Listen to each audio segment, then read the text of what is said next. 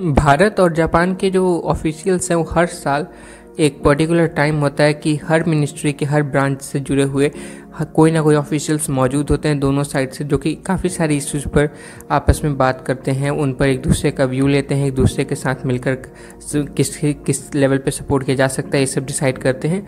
इसी में एक इंपॉर्टेंट चीज़ थी इस पर जो है, इस पर आरसीईपी जिससे कि भारत नवंबर में वॉकआउट कर चुका है। नवंबर के स्टार्टिंग में भारत ने ये डिसाइड किया था कि भारत आरसीईपी का हिस्सा नहीं होगा।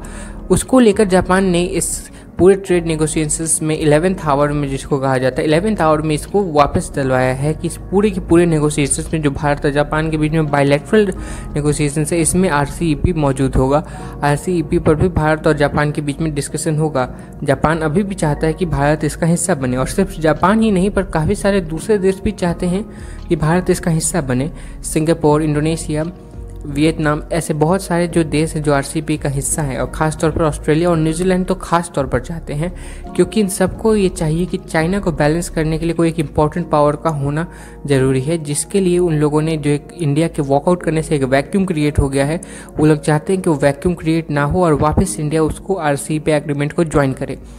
इसके लिए वो लोग इस हद तक भी तैयार है कि भारत के साथ ही रीनोगोशिएट किया जाए और भारत जो कुछ नेगोशिएशंस में चाहता है, कुछ ना कुछ उस पर एग्री किया जाए। हालाँकि चांसेस इसके ऐसे लग रहे हैं कि फेब्रुवरी तक जो कि उन लोगों ने एक टाइमलाइन सेट की है, हो सकता है वो काफ़ी सारे नेगोशिएशंस करेंगे इस मामले में। और भारत भी उसमें इन्वॉल्व है, इसलिए इन्वॉल्व है क्योंकि अगर एक बेहतर डील मिलती है तो आरसीईपी में जाना कोई बुरी बात नहीं होगी।